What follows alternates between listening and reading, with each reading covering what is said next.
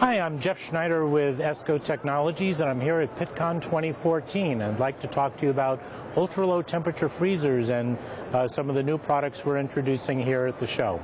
The purpose of an ultra-low temperature freezer is has to do more than just keep samples cold. We have to protect a researcher's life work. And, and that's the job of the freezer, but it takes more than just a cold box to do that. And what we've done is we've built an entire system not only the box, but an entire system to protect a researcher's life work. We've done that by creating a whole array of elements to protect customer samples. The first is pretty traditional, a liquid nitrogen or liquid CO2 backup system. But typically, the systems only run for about 12 hours. So we now have an available 72-hour backup battery for the ULT freezers. We've also built in a security system so that only authorized users can get access to the system. And that can be done by key card, by password, or combination of both. Very unique to the system and patent pending is a sample inventory system. We've built a very unique communication system so the inventory system in the laboratory can actually directly communicate with the screen on the ultra-low temperature freezer. It's important so that the samples and the doors only open for as short a period of time as possible. And it helps the users who are keeping track of 50,000 plus samples. They know exactly where they are and you don't lose them.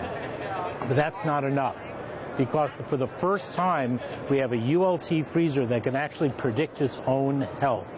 It knows when there's going to be a problem before there's a problem which puts your samples at risk. So predictive failure management system, patent pending, is a brand new feature in this technology. We built in a full event monitoring system where we can communicate with users by Wi-Fi and network email and SMS messaging to make sure that any events that put your samples at risk are communicated appropriately.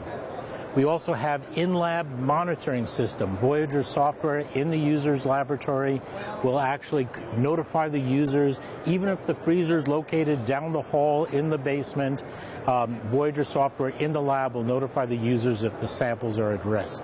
But that's not enough because you leave the lab, you go to sleep, even if you get an SMS message in the middle of the night, you may not know about it. So we're offering for a fee the ability for ESCO to monitor your systems for you remotely uh, by a notification system from our servers in Singapore. And then we can notify appropriate contact individuals even in the middle of the night while you're sleeping. Lastly, we offer a complete redundant uh, monitoring system in case there are other electronic problems which prevent any of these other systems from working. For the first time, we have more sample protection capability for your precious samples, your life's work, than any other vendor ever possible.